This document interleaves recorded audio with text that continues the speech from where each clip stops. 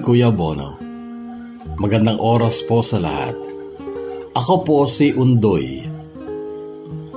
Raymundo ang tunay kong pangalan. Siguro lahat ng tao dito sa amin ay kilala ako dahil sikat noon ang tatay kong si Ador Tomador.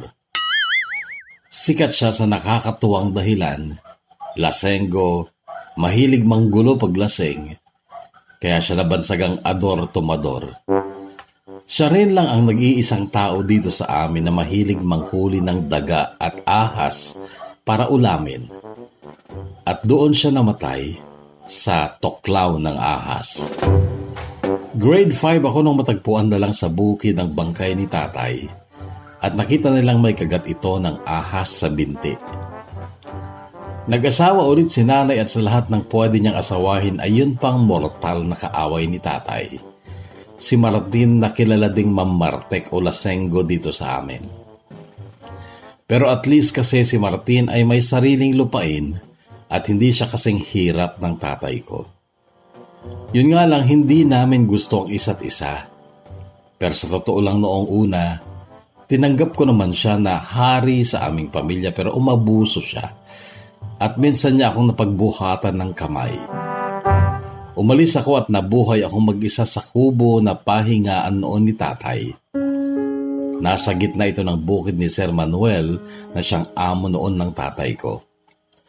May poso naman doon at maraming puno sa paligid. 12 anyos na ako noon Kuya Bono at marami na akong alam sa buhay.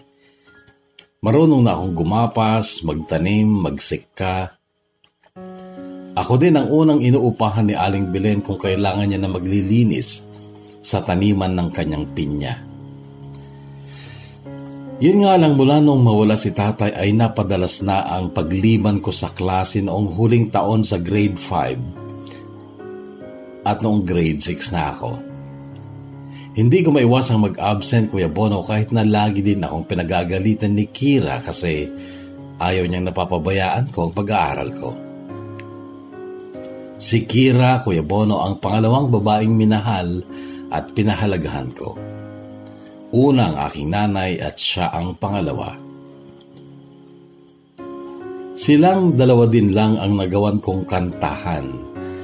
Oo, mahilig akong kumanta, Kuya Bono, lalo na kapag nag-iisa ako sa bukid pero kapag may tao na ay titigil na ako sa pagkanta.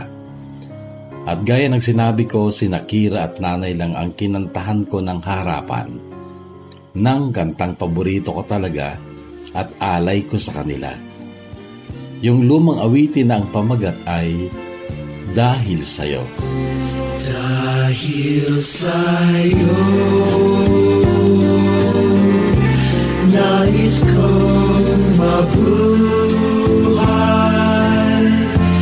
Dahil sa'yo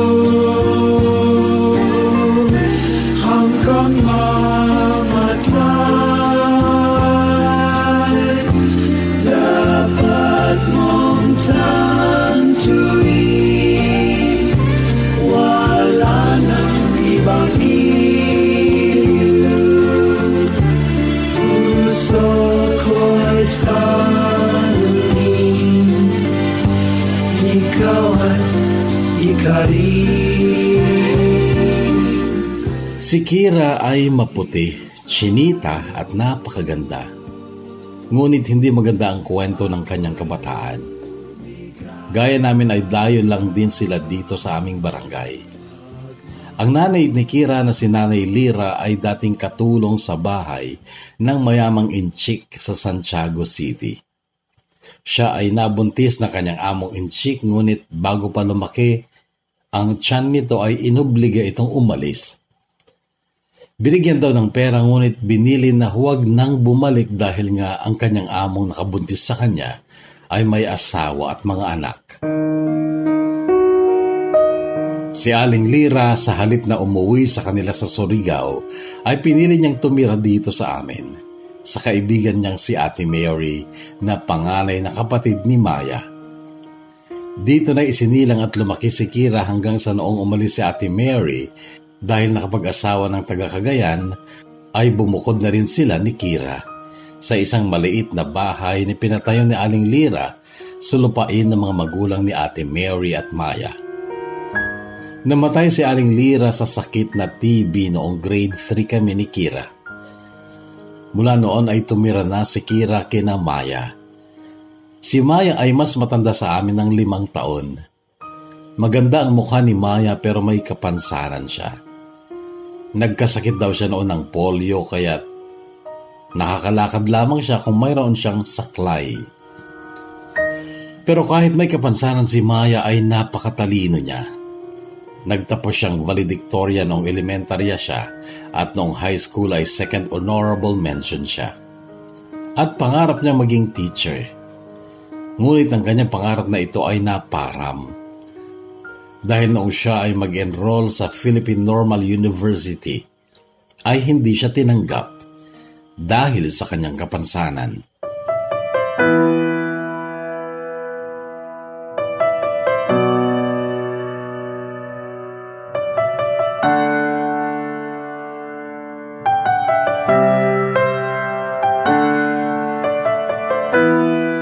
Sa ibang school nag-enroll si Maya at natanggap siya ngunit hindi rin nagtagal ay nagpasya siyang tumigil sa pag-aaral dahil daw sa panliliit niya sa sarili niya.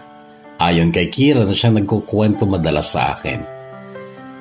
Nandyan daw yung pinagtatawanan siya at iba daw ang tingin sa kanya. Pinanghinaan siya ng loob kaya ito nagpasyang tumigil na lang ng pag-aaral. Ipinagpatayo na rin siya noon ng sari-sari store ni Aling Ising na nanay niya. Malaki ang utang na loob namin ni Kira kay Maya. Lalo na si Kira dahil maraming natutunan si Kira kay Maya. Kapag bakasyon noon, tinuturuan kami ni Maya.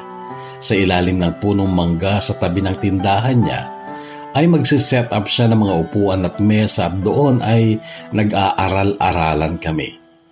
Kami ang mga mag-aaral at si Maya ang aming teacher.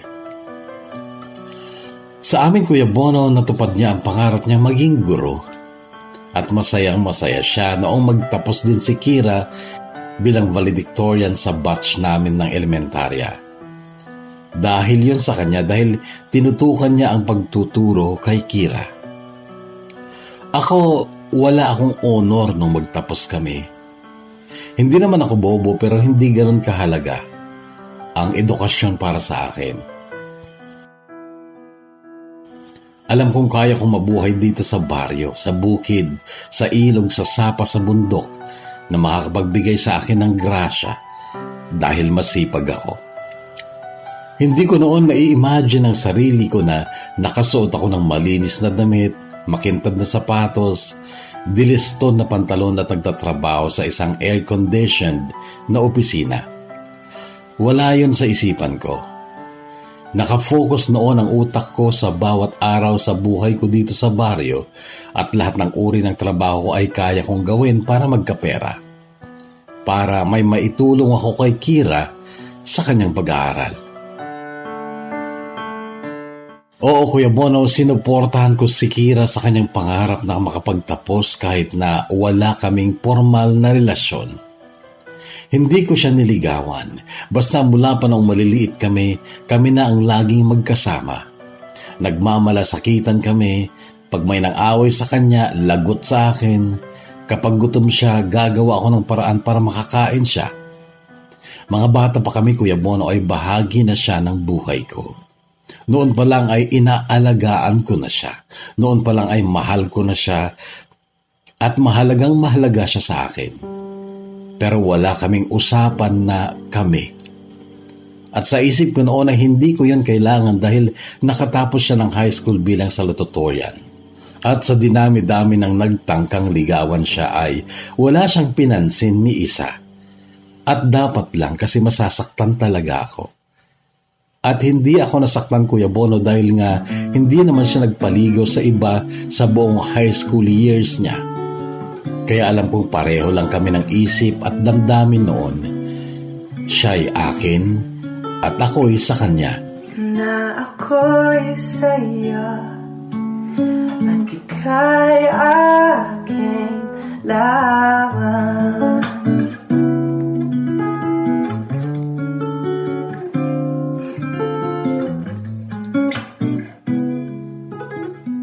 Si Kira, noong maliit pa kami, kahit na lumang damit ang suot niya ay hindi mo mahahalatang anak siya ng mahirap kasi natural siyang maputi.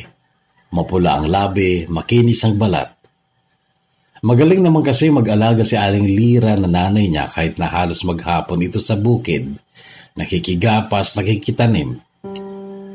Walang araw na hindi ko kasama si Kira noon.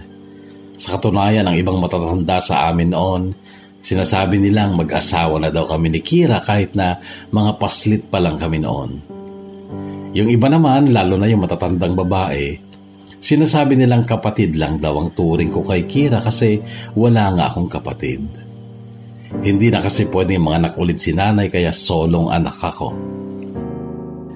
Si Aling Lira noon ay madalas akong bilinin lalo na noong may nararamdaman na siya sa katawan niya Paulit-ulit niyang sinasambit sa akin ang mga katagang ito.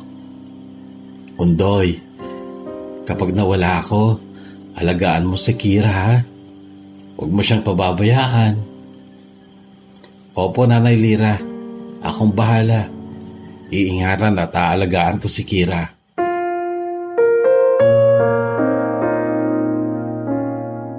Madiskarte ako kahit nung bata pa ako, Kuya Bono. Kung minsan kami ay mangingisda karas sa salitang Ilocano. Yung tatanggalin mo ang tubig nung aripit halimbawa tapos kapag wala ng tubig eh dililitaw na mga isda. At nagpaparty-party kami sa makukuha naming isda. Kapag marami, nagbibigay din ako kay nanay. Pero hindi ko nakakaligtaang magbigay kina nanay Lira para may maiulam si Kira. Pero yun nga, mula nung mamatay ang tatay kong si Ador Tomador ay nakipag-asawa si nanay sa mortal na kaaway niyang si Martin Mamartek. Di kami naging okay ni Martin kaya naglayas ako. Nagsariling buhay ako. Grade 5 lang ako noon, mga ilang buwan pa bago magtapos ng school year na yon. Mahirap nung una pero masaya kasi solo ko ang buhay ko at walang Martin Mamartek na nag-aakala mo kung sino sa buhay ko.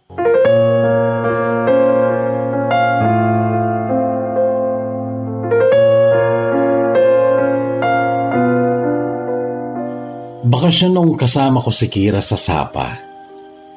Mangunguha kami ng binnek noon. Di ko alam sa Tagalog, Kuya Bono, basta shell ito na parang maliit na talaba.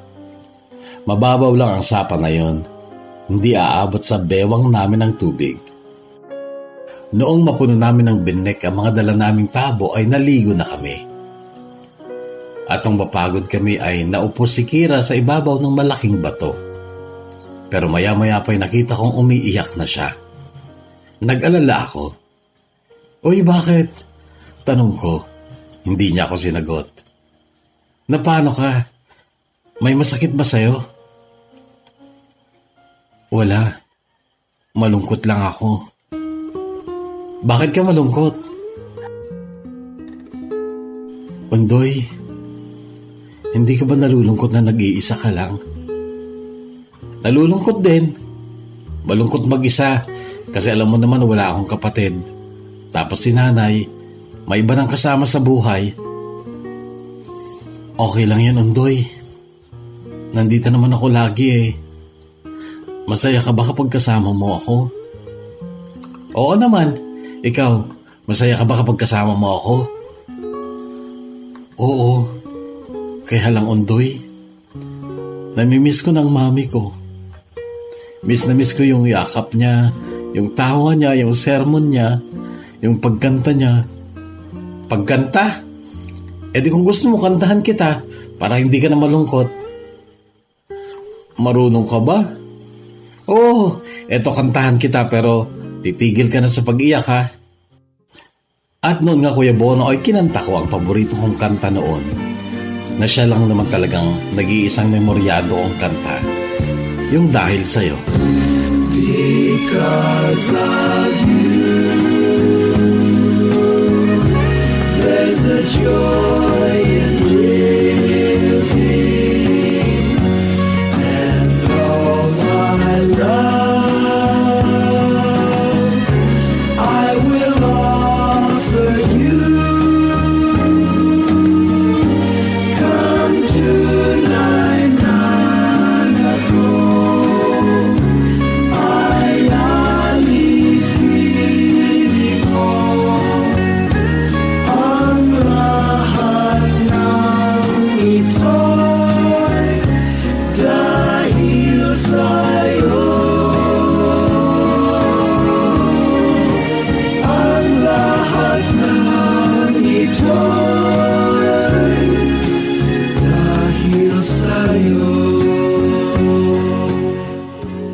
Mabait ang mga magulang ni Maya pero kuripot ng mama niya na si Aling Ising at si Kira ay lagi ding nahihiyang manghingi ng pera kaya may pagkakataon na pumapasok siyang walang baon noong elementary kami. Ako, walang baon-baon sa akin. Ang dami kasing puno na pwedeng akyatin para makakuha ng bungang kakainin. High school, nagpatuloy si Kira sa private school pa kasi full scholar naman siya kasi nga nagtapos siyang valedictorian. Ako, hindi na ako nag-aral. Sabi ko noon, tama na yung marunong akong bumasa at sumulat. Nagsipag na lang ako noon, Kuya Bono, para hindi mawalan ng pera. Lahat ng pwedeng sabakang trabaho na kaya ng katawan ko ay hindi ko inuurungan. Ultimong mag-igib ng tubig ni Aling Taryang, papatusin ko kahit 20 pesos lang ang bayad niya sa mapupuno kong drum. Marunong na rin ako maggapas at magtanim at magsika noon kaya't walang araw na nababakante ako. Kailangan kasing hindi ako mawalan ng pera para may baon lagi si Kira. Kahit mag-ulam ako ng balangig, basta hindi lang mabawasan ang pera ko. Pero hindi naman laging balangig ang inuulam ko sa aking kubo, Kuya Bono, kasi marami namang mauulam dito sa baryo kung masipag ka lang. Marami akong tanim na gulay. May mga alaga din akong pato, itik at manok. Mga alaga ko na dati ang mga yon noong kay nanay pa ako nakatira. Pero nung umalis ako, dumampot ako ng ilan para mapadami sa aking bagong kaharihan. Dumaan ang mga araw na ganun lang Kuya Bono. Tanging si Kira lang ang dahilan para ako'y masayang gigising sa umaga at maghabong magbabalat ng buto para kumita hanggang sa magtapos si Kira ng high school. At noon ay mas kailangan ko nang magsipag sa pagkayod dahil magka-college na siya. Malaki na ang katawan ko noon Kuya Bono at may sapat na akong lakas kaya't kinausap ko si Sir Manuel na bigyan niya ako ng bukid na sasakahin ko. Binigyan naman niya ako ng dalawang ektarya. Pero kahit may bukid na akong sinasaka, ay hindi pa rin ako tumigil sa pakikitanim, pakikisika at paggapas sa bukid ng iba kapag wala naman akong gawain sa bukid na sinasaka ko.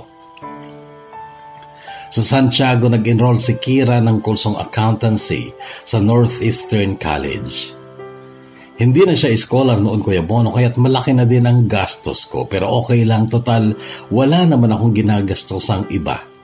Medyo mahirap pero kinaya ko naman hanggang sa noong malapit na siyang magdibu ay naglambing siya sa akin. Undoy, gusto ko magdibu. Bakasyon naman yon, April. Eh lahat naman nagdidibu ah.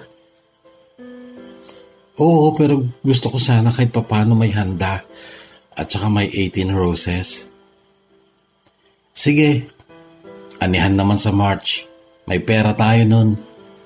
Sabi ko, naging napakatamis ng kanyang ngiti Kuya Bono, pero hindi ko alam na ang kanyang dibu ang simula ng aming pagkakalayo.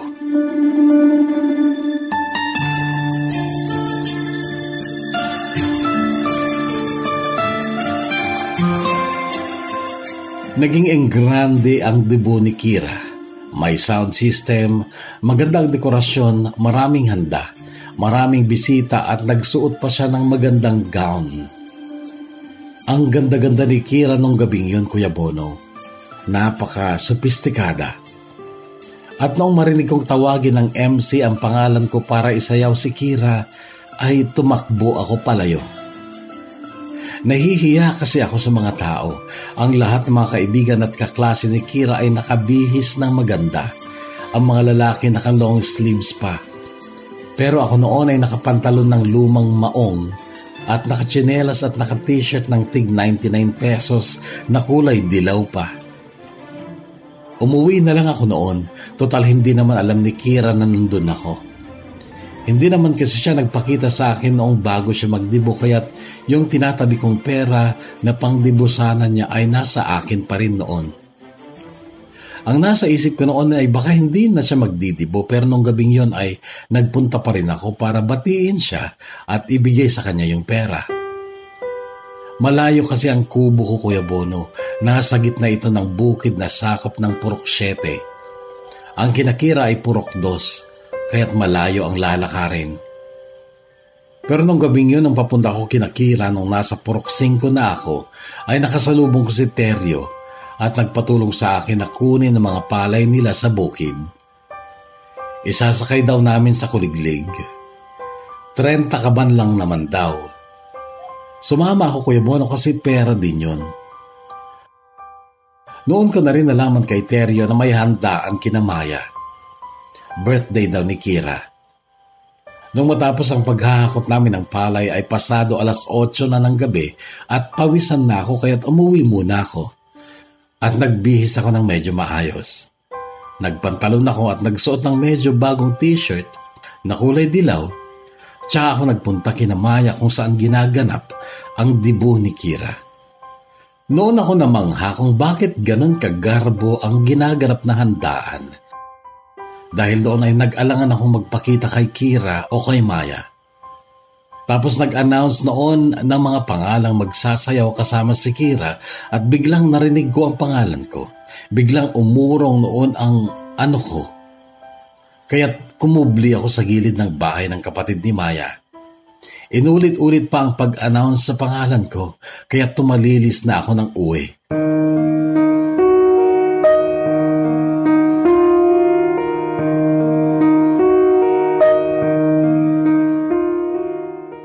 Nakatulugan ko ang pagtataka sa isipan ko kung paano nakapaghanda ng ganon si Kira.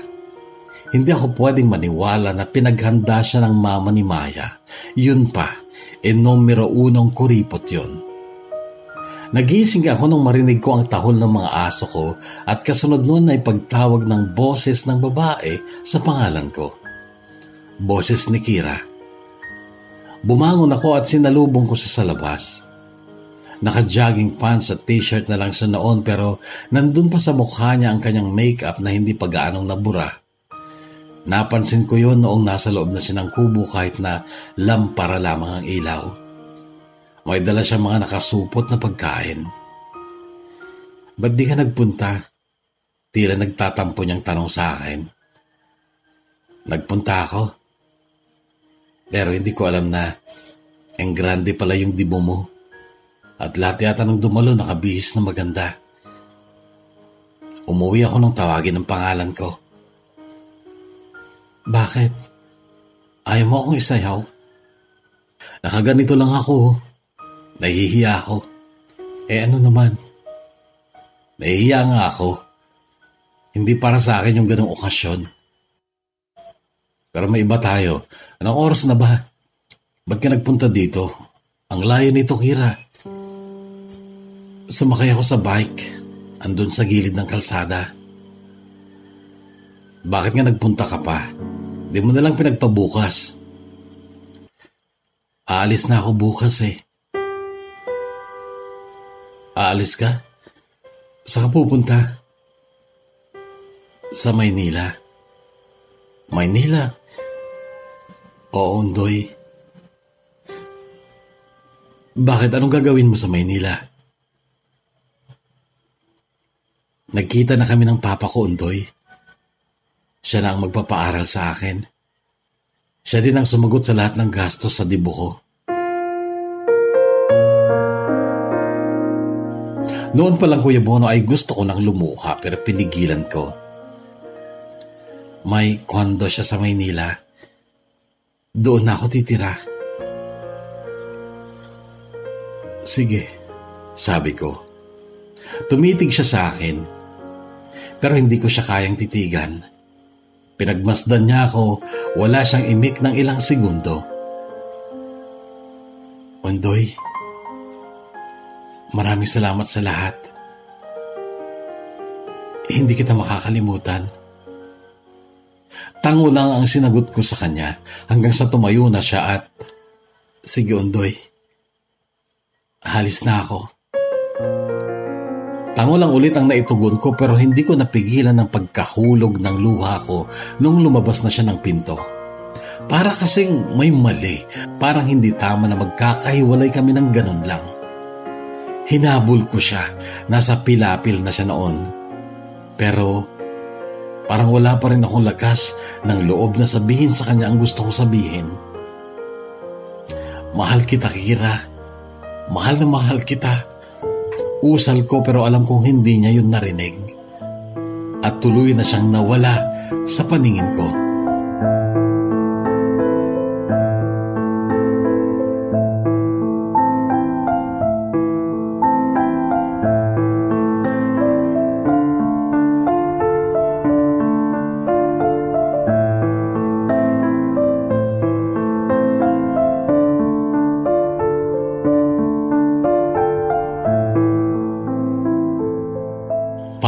Naglaho lahat sa buhay ko mula nung iwan ako ni Kira. Nawalan ako ng ganang gumising sa umaga. Para ano pa? Hindi ko inaasahang iiwan niya ako at ang masaklap hindi man lang niya nalaman na mahal na mahal ko siya. Taong 2002 nung iwanan niya ako. Wala pa akong cellphone noon, ganon din si Maya. Nahirapan akong tanggapin ang biglang pagkawalan ni Kira Kuya Bono.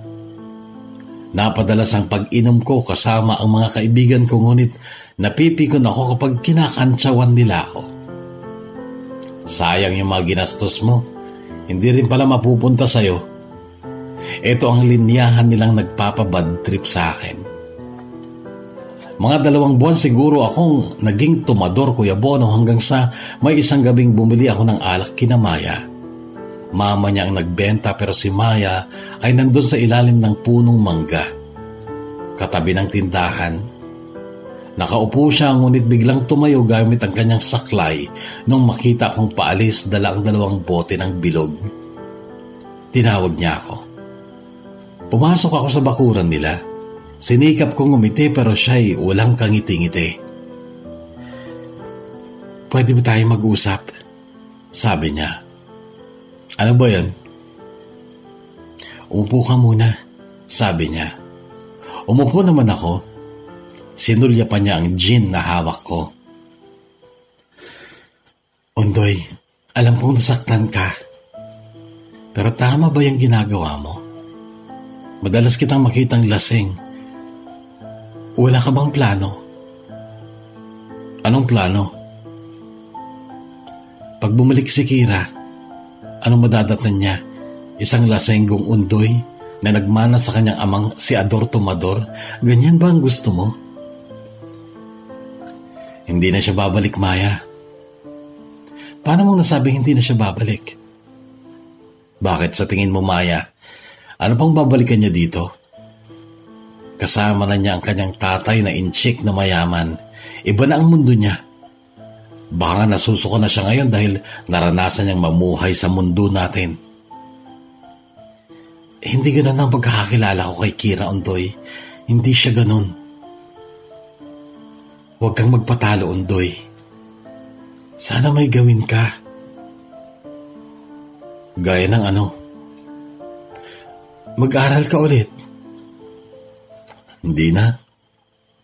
Bakit? 19 na ako, Maya. Eh ano naman? Bakit ba, Maya? Ikaw, ano bang nasa isip mo? Bakit kailangan kong mag-aral? Kung mag-aaral ba ako, babalik si Kira. Sige nga, sabihin mo nga sa akin nasa isip mo. Pagkikinggan ko. Kung ako lang sana undoy ay walang kapansanan, lahat kaya kong gawin. Ikaw, normal ka, malakas matapang. Alam kong kaya mong umahon sa buhay undoy. Mag-aral ka kahit makatapos ka lang ng high school. Tapos kumuha ka ng vocational course. Tsaka ka mag-abroad, mag-ipon ka na mag-ipon. Napatitig ako sa magandang mukha ni Maya noon. Gusto kong mahawa sa pagkapositibo niya kaya lang ilang taon na ba akong hindi nakakahawak ng lapis o ballpen ni hindi ko alam kung marunong pa akong sumulat. Huwag na Maya. Hayaan mo na. Salamat na lang kasi alam kong nagmamalasakit ka sa akin. Pero tanggapin na lang natin. Marami talagang bagay sa buhay natin na kahit buong buhay nating inasam ay hindi pa rin mapapa sa atin. Gaya ni Kira, hindi siya para sa akin. Para siya sa iba.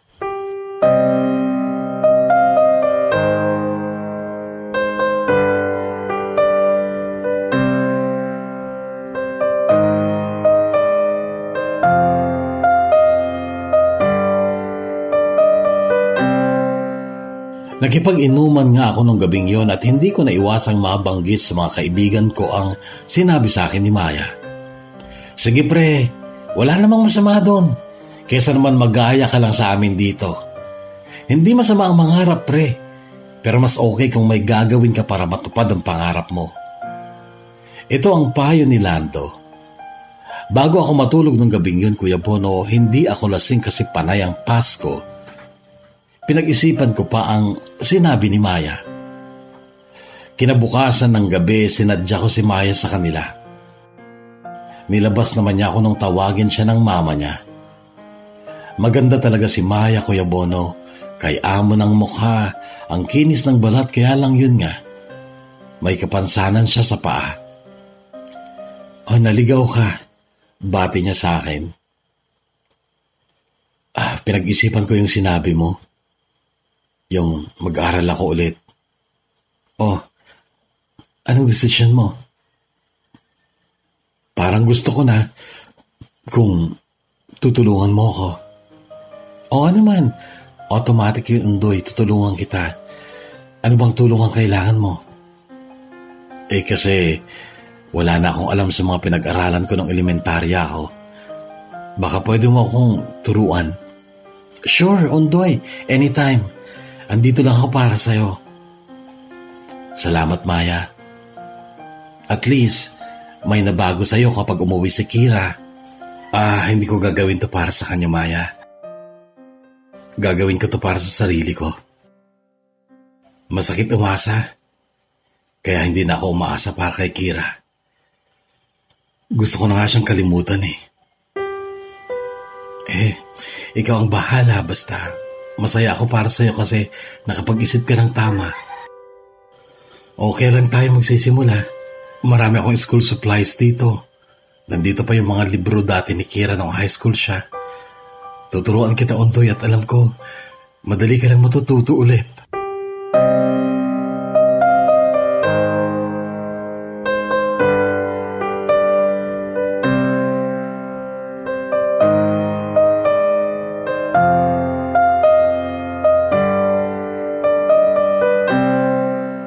Kadalasan tuwing gabi ay nag-aaral ako sa tulong ni Maya na siyang tutor ko.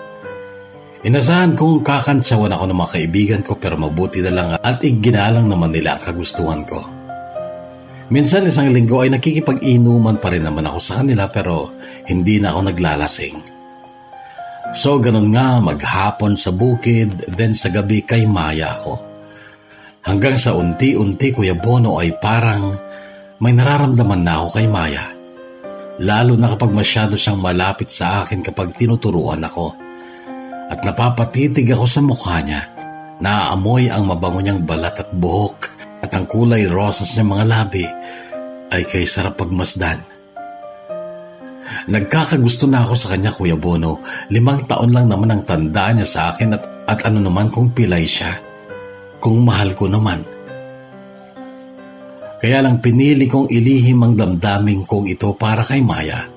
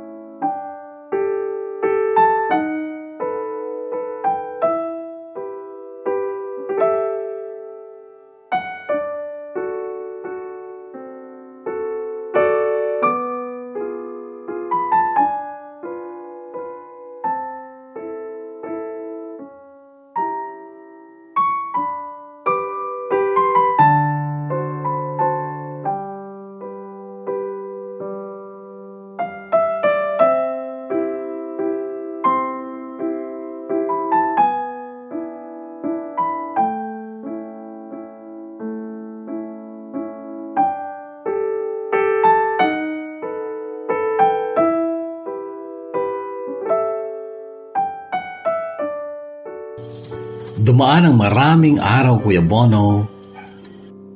Malalim na noon ang pag-ibig ko para kay Maya. Pero hindi ko pa rin lubos na nakakalimutan si Kira. Madalas pa nga ay napapanaginipan ko siya na nagpapatulong sa akin nang hihingi ng tubig o pagkain.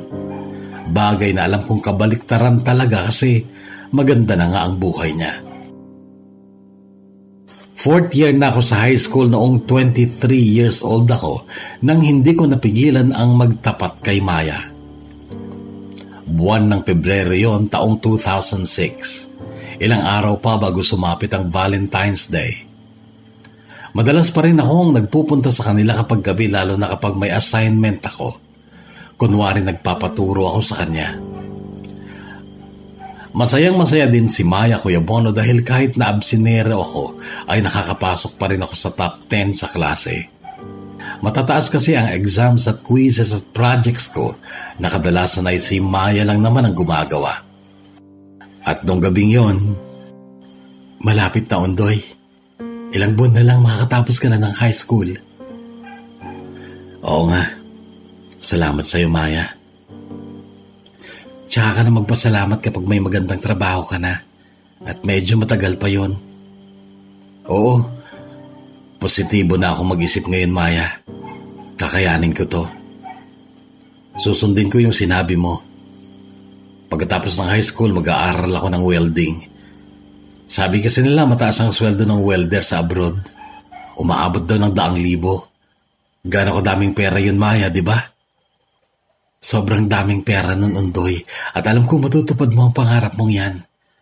Yayaman ka, at kapag nagkita kayo ni Kira, hindi ka na maaalangan sa kanya. Malay mo, pag nagkita kayo, single pa siya, at kayo talaga ang nakatadhana. Eh, hindi ko na siya niisip, Maya. May mahal na akong iba. At siya na ang inspirasyon ko sa lahat ng ginagawa ko ngayon. Talaga? Sino yun? Taga dito ba? Oo, taga dito siya. At kaharap po siya ngayon. Napatitig bigla si Maya sa mga mata ko. Kaya't kitang-kita ko ang pagbalong ng luha niya. Patawarin mo ako, Maya. Hindi ko na napigilan ang sarili ko. Mahal kita. Limang taon ang tanda ko sa iyo, Untoy, pero aaminin ko. Mahal din kita. Noon pa.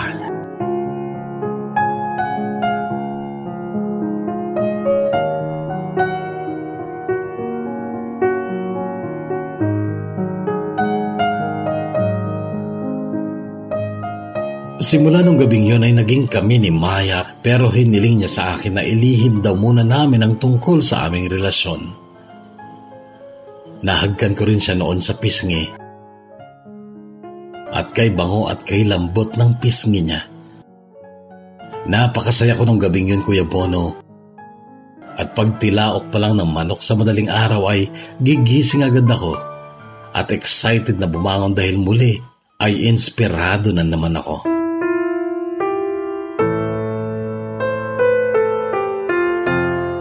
Oo, Kuya Bono, walang imposible kung talagang gusto mo. Nangarap ako kasama si Maya at sinabayan ko din yun ng dasal sa Diyos na sana tulungan at gabayan ako upang ako ay magtagumpay. Kaya lang may nangyari.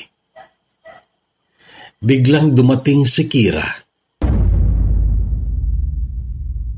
Nagulat na lang ako nung hapong galing ako sa bukid ay nadatnan ko si Kira sa kubo at nakaluto na siya. Bagong paligo din. Oh, para ka nakakita ng multo. Sabi niya at akmang yayakap sa akin pero lumayo ako. Mabaho ako, Kira. Sabi ko. Eh ano naman, sanay na ako sa'yo. Miss ko ngayong amoy mo eh. Narinig kong sabi niya. Tapos nakita ko ang malaking maleta sa ibabaw ng higaan ko. Ba bakit dito ka tumuloy? Bakit hindi kinamaya? Bakit? Ayaw mo ako dito? Eh, hindi mo na ba ako mahal? Napatingin ako sa mukha niya si sinabi niyang yon. Lalo pang gumanda si Kira Kuya Bono at kahit takip silim na noon ay nagliliwanag talaga ang kaputian niya. Narinig ko ang sinabi mo noong gabing paalis ako, Undoy. Sinabi mong mahal mo ako. At mahal din kita. Kaya lang kailangan kong makatapos ng pag-aaral at makapagtrabaho para hindi tayo mabubuhay na mahirap. Pero sa tagal na panahon na wala ka sa tabi ko, hindi ka nawala sa isipan ko, Undoy. At isinumpa ko nun sa Diyos na babalikan kita. Noon, Kuya Bono, ay sobra akong nalito. Kahit nung naliligo na ako, hindi mawala sa isipan ko si Maya. Aminado ako bumalik bigla ang pag-ibig ko sa kababata kong si Kira pero mahal ko din si Maya. Sabay kaming kumain ni Kira ng hapunan. Masarap ang niluto niyang sinigang. Pero puro gulay lang ang inulam niya. Hindi siya nag-uulam ng karne. Habang kumakain kami ay sinabi niyang samahan ko siya sa bayan kinabukasan dahil bibili kami ng mga gamit. Pagkatapos namin kumain ay nagpaalam ako sa kanya. Sabi ko ibibili lang ako ng sigarilyo. Pero ang totoo ay kay Maya ako dumiretso. Nadatnan ko siya sa ilalim ng mangga at ang salubong niya sa akin ay, Oh, ba't mo siya iniwan doon? Sinong kasama niya doon? Alam mong dumating si Kira? Oo, oh, dumaan siya dito. At yun nga, sinabi niya sa akin na doon daw siya sa'yo titira. Ah, Maya, hindi ko inaasahan to. At sa totoo lang, gulong-gulo ang isipan ko. Huwag ka na maguluhan, Ondoy. Naalala ko pa kung gaano kayo magsama ng mga bata pa kayo.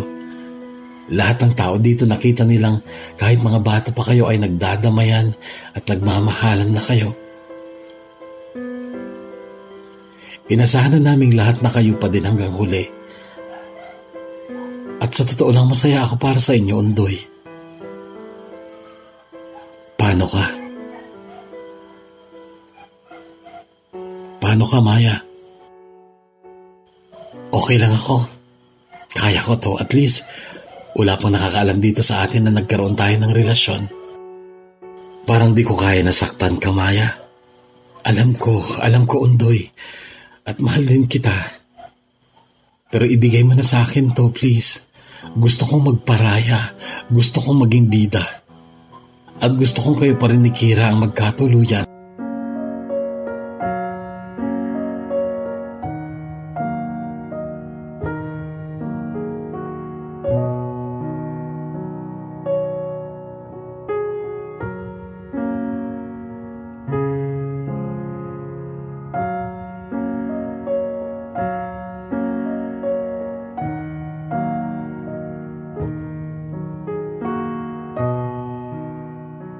Nagsama kami ni Kira Kuya Bono at kay dali din lang talagang bumalik ang pagmamahal ko para sa kanya dahil napakalambing niya. At gustong gusto ko syempre yung pag-uwi ko ng kubo ay may pagkain na ako. Tapos may katulong na rin ako sa paglalaba. Hanggang sa naglihi na siya, naging madalas ang pagkahilo niya. Hindi siya kumakain ng isda at lagi ay prutas at gulay ang kinakain niya. Ayaw na din niya ng itlog, lalo na kapag malasado. Gustong gusto niya ng dahon ng ampalaya. Marami siyang pera noon, Kuya Bono. Halos araw-araw niya akong inuutusan sa bayan para bumili ng mga gusto niyang kainin. Lalo na nung naglilihi siya. At sa pagdaan pa ng mga araw ay lumaki na nga ang tiyan niya, Kuya Bono. Nagpapasama siya madalas sa akin kapag check-up niya pero Ayaw niya akong sumama sa kanya kapag kausap niya na ang doktor. Gusto raw niya maging surprise sa akin kung lalaki o babae ang anak namin. Pumapasok pa rin ako sa eskwela, Kuya Bono, kasi hindi na rin nawala sa akin yung pangarap ko lalo na't magkakaanak na kami ni Kira. Gusto ko siyang pakasalan pero sabi niya tsaka na lang kapag may pera na daw ako, kapag nakapag-abroad na ako. Dinalangan ko na ang pagpapakita kay Maya noon kasi gusto kong matulungan siya mag-move on. Mahal ko pa rin siya hanggang noon, Kuya Bono, kaya lang siguro kailangang may masaktan kasi isa lang naman ang dapat piliin. hindi nawala ang mataas na paggalang at paghanga ko kay Maya. Dakila siyang babae. At hinangad ko noon na sana may magmahal sa kanya para maging maligaya din siya sa buhay niya.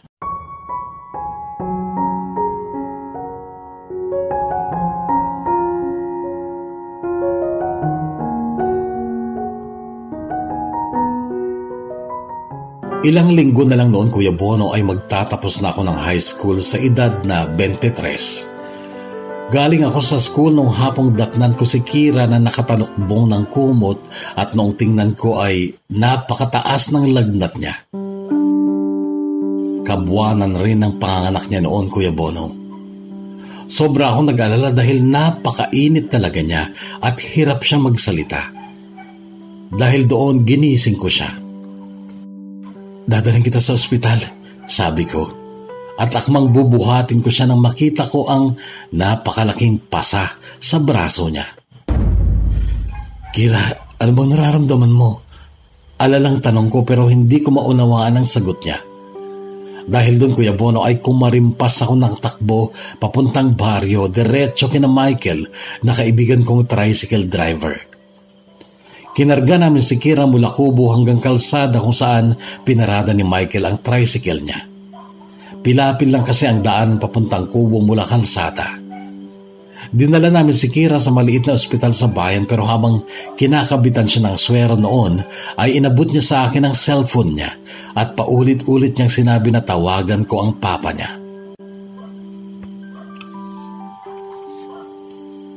Tinawagan ko nga Kuya Bono. Sa cellphone ay masungit ang papa niya, mataas ang boses ngunit wala pang tatlong oras ay dumating siya sa ospital. Tulog noon si Kira, pero naroon ang doktor at nurse. Lumabas muna ako noon at nung lumabas na ang doktor at nurse ay bumalik ako sa loob. Ililipat ko sa Maynila si Kira. Wala akong tiwala sa mga doktor dito. Sabi niya, hindi ako umimik. Anong pangalan mo? Ondoy po. Ondoy, alam mo bang dati nang may sakit si Kira? Hindi po. Last year pa na-diagnose na mayroon siyang leukemia. Ah, dadalhin ko talaga sa, sa China para doon magpagamot pero naglayas siya. Hindi ko alam kung saan nagpunta. Pinahanap ko pero hindi namin nakita. Pati doon kinamaya nagpunta kami pero wala daw siya doon. Yun pala nasayo. Eh, hindi ko po alam na may sakit siya. Sabi ko. Hindi ko napigilan ang pag-agos ng luha ko. Natakot ako ng sobra para kay Kira. Nang mapansin kong biglang kumilos si Kira at nagsalita. Papa, malinaw ang pagkakabigkas niya. Siguro ay tumulad na yung mga gamot na pinagtuturok sa swero niya. Anak, anong nararamdaman mo? Alalang tanong ng papa niyang incheck. Yung baby ko, papa, anong sabi ng doktor? Kumusta ang baby ko? Okay lang daw ang baby mo. Ikaw ang hindi, kaya ililipat kita sa Maynila bukas na bukas. Papa, siya si Undoy, ang ama ng anak ko. Oo, kilala ko na siya. May hihilingin ako sa iyo, Papa. Ano yun? Alam ko na hindi ka papayag na kunin ni Undoy ang anak ko. Pero please, Papa, huwag mo sanang ipagdamot ang anak ko sa kanya. Kasi nag-iisa din siya sa buhay. Ako lang lagi ang nakasama niya noon kaya sana ilapit mo ang anak ko sa kanya. Ito lang ang hiling ko. Oo, wala namang problema dyan pero ngayon, kailangan mong gumaling anak. Baka hindi na ako gagaling, Papa. Okay na ako. Tanggap ko na. Basta't ang mahalaga na lang sa akin, maisilang ko ang anak ko. At papauulitin ko, huwag mong ipagdamot ko yung doy ang anak namin. Sa kanya mo ipangalan ng anak namin, Papa. Mangako ka. Gagaling ka, anak. Gagaling ka. Mangako ka, Papa, please. Oo, nangangako ako. Noon kahit hilam sa luha ang mga mata ko ay kay Kira ako nakatitig. Nakatitig din sa akin. Pero pinilit niyang ngumiti. Mahal na mahal kita, Undoy. Pasensya ka na lang kung hindi na kita masasamahan sa iyong pagtanda. Mauuna na ako. Pero magkikita pa tayo kahit matagal. Hintayin kita. Pero pansamantala, doon ka muna kay Ate Maya. Balikan mo siya. Mahal na mahal ka niya. Kira, wag mo sabihin yan. Gagaling ka pa. Okay lang ako, Undoy. Huwag kang malungkot. Tanggap ko na. At saka, miss na miss ko na rin si Mami. Makakasama ko na siya. Hinihintay niya na ako.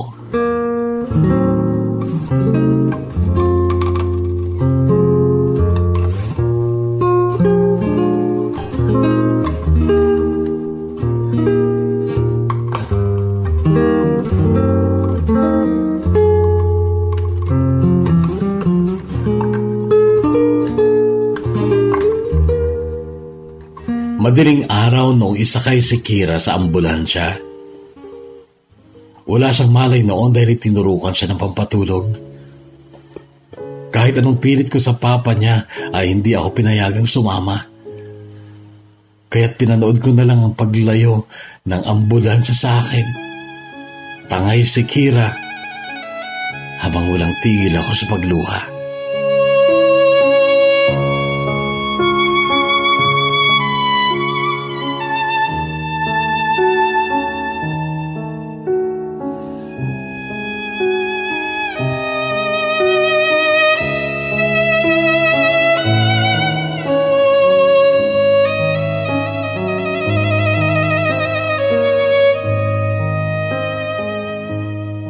Umalis ako ng ospital alas 5 ng umaga.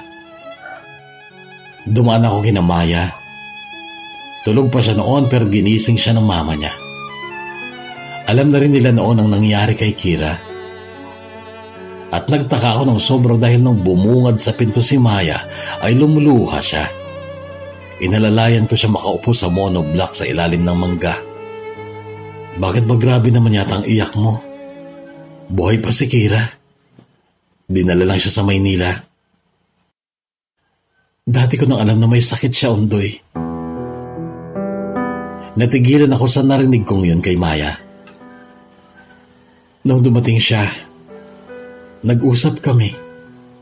Nag-aminan kami. Inamin ko sa kanya na may relasyon na tayo, na nagmamahalan na tayo pero ang sabi niya, Ate, pwede ba? Pahiram muna si Undoy kahit isang taon lang.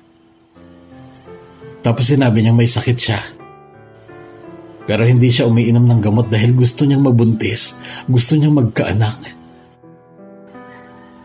Para may anak daw siyang iiwan sa'yo. Bakit? Bakit hindi siya naggamot? Sabi niya, hindi raw siya mabubuntis kung iinom siya ng gamot para sa sakit niya. Sorry, Undoy. Naglihim ako sa'yo. Kaya pala sabi niya kanina, balikan daw kita. Babalik ka ba? Gusto kong bumalik, Maya. Pero hintayin muna natin si Kira. Dumaan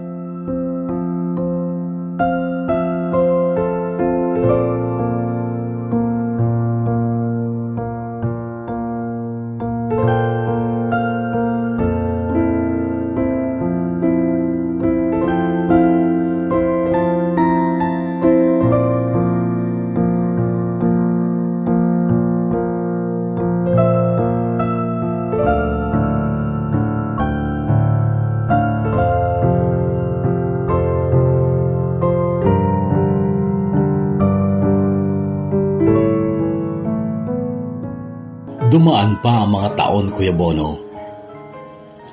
Makaraan ng unang taon naming paghihintay sa pagbabalik ni Kira ay binalikan ko na si Maya. Wala kaming makuha ng balita tungkol kay Kira. Itinuro ni Ate Mary, ate ni Maya ang bahay ng papa ni Kira sa Santiago pero madalas ay katulong lang ang nakakausap namin at wala daw silang alam. Lalong hindi namin alam kung nasaan sa Maynila ang kondo nila. Noong sumunod na taon ulit, April 2009 ay nagpakasal na kami ni Maya. Graduate na rin ako noon sa vocational course na welding at nakapagpatayo na rin ako ng welding shop. Gumagawa kami ng steel window, steel grills at steel truss. Noon ding panahon na ito ay nagustuhan ni Maya ang isang relihiyon na noong una ay may mga lingkod ng Diyos na dumadalaw sa kanya. Pinangangaralan siya ng mga salita ng Diyos. Nagkaroon siya ng malalim na paniniwala at doon ay kinumbinsi din niya kung sumama hanggang sa maging ako rin ay napatunayan kung ito nga ang tamang relihiyon para sa amin.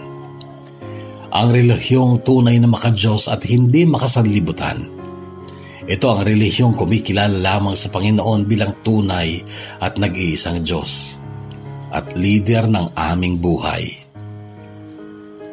Tuwing pagtitipon sa aming bahay-sambahan ay pangunahan naming dalangin ni Maya ang paggaling sana ni Kira. Taos pusong dalangin yon Kuya Bono. Simple ang pamumuhay namin ni Kira at dito kami nakatira sa bahay nila na siya din lang kasing magmamana paglaon.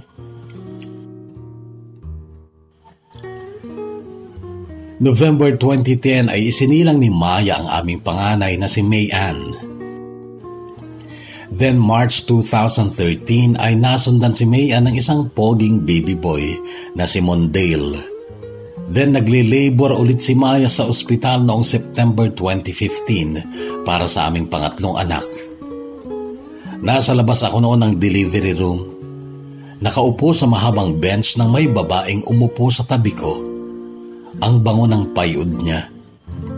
Nilingon ko siya at nagulat ako nang makita kong nakangiti ito sa akin at napamulagat ako nung mapagsino ko siya. Kira?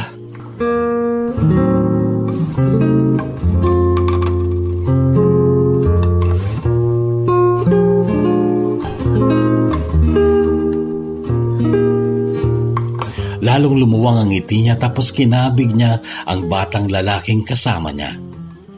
Anak, anak halika, ito ang papa mo. Napatitig ako sa mukha ng batang lalaki. Kahawig na mga mata niya at ilong niya. Ang mga mata at ilong ko. Pero maputi siya, namana niya marahil kay Kira. Raymundo Santos Jr., sambit ni Kira.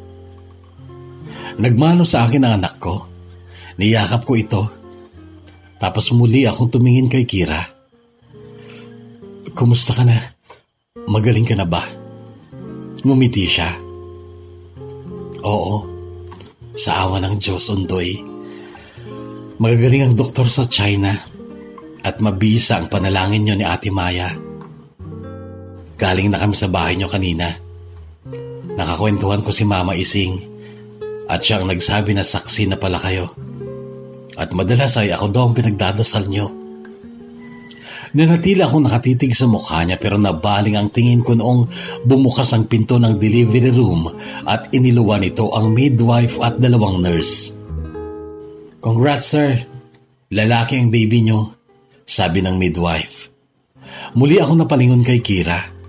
Maluwang ang ngiti niya at ang sabi niya sa akin ay, Congrats, Undoy. Masaya ako para sa inyo ni Ate Maya.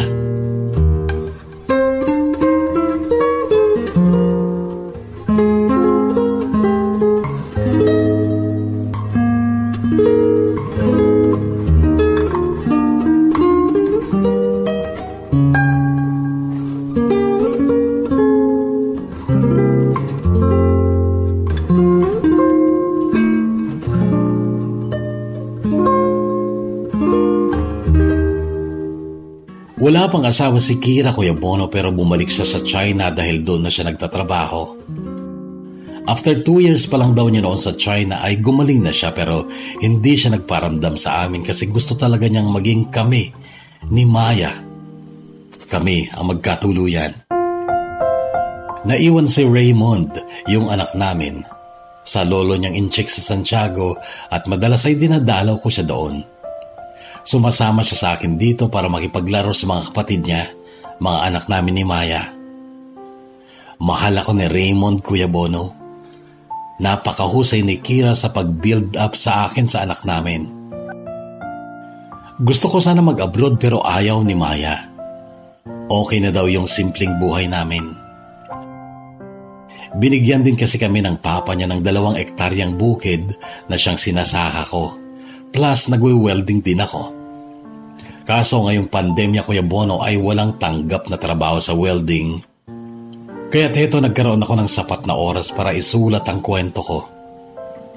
Alam kong marami akong mali sa pagsusulat Kuya Bono at maraming Tagalog words na hindi ko alam kaya't iniilokano ko na lang.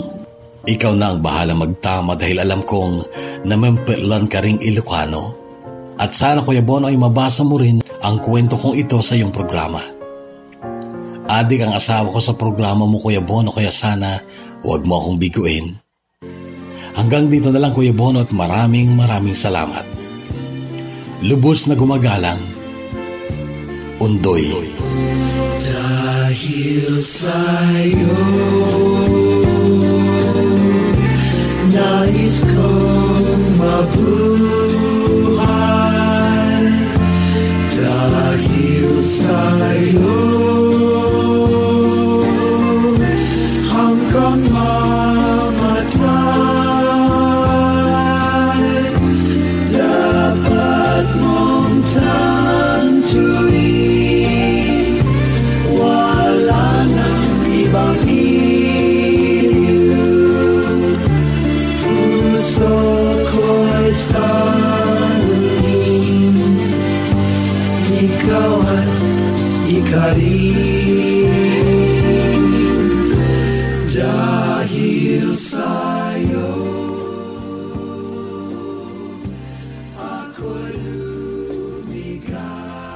ay lubos na humahanga sa mga karakter ng kwentong ito, sina Maya, Kira at Undoy.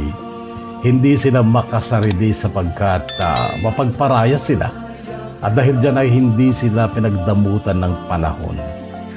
Sila ay nabiyayaan ng magagandang bagay.